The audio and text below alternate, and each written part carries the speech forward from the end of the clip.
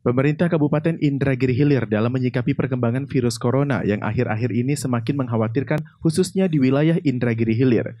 Pengendalian dan pencegahan tidak hanya dilakukan secara fisik, tetapi juga perlu dilakukan secara religius, yaitu dengan melaksanakan istighosah kubra atau zikir dan doa yang dilakukan secara serentak di seluruh masjid dan musola yang ada di Kabupaten Indragiri Hilir. Kegiatan istighosah dipimpin langsung oleh Bupati Indragiri Hilir yang diawali dengan sholat maghrib secara berjamaah. Dalam kegiatan tersebut turut hadir penjabat Sekda Pauzar, Ketua TPPKK Hajah Zulekah Wardan, Asisten 1 Tantawi Jauhari, dan Asisten 3 Tengku Juhardi. Bupati Inhil HM Wardan mengatakan pelaksanaan istiqosah kubra bertujuan untuk memohon keselamatan di tengah wabah virus corona. Dirinya berharap wabah virus corona tersebut segera musnah dari Indonesia, khususnya di Kabupaten Indragiri Hilir. Ia juga terus mengingatkan kepada jemaah yang mengikuti istiqosah kubro selalu menjaga physical distancing agar jemaah selalu dalam kondisi sehat.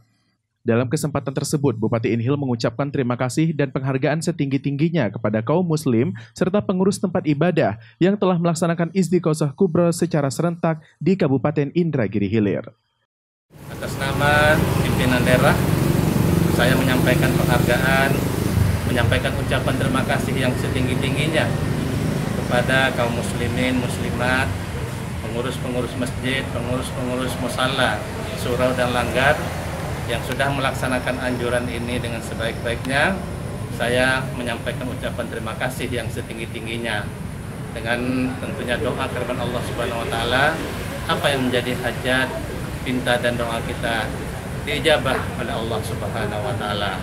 Tetap kita melaksanakan kegiatan dengan mempedomani ya protokol kesehatan dengan senantiasa selalu memakai masker, mencuci tangan dengan air yang mengalir, menjaga jarak dan menghindari kerumunan. Terima kasih. Assalamualaikum warahmatullahi wabarakatuh. Zakaria Dedi Rahman melaporkan untuk Gemilang Televisi.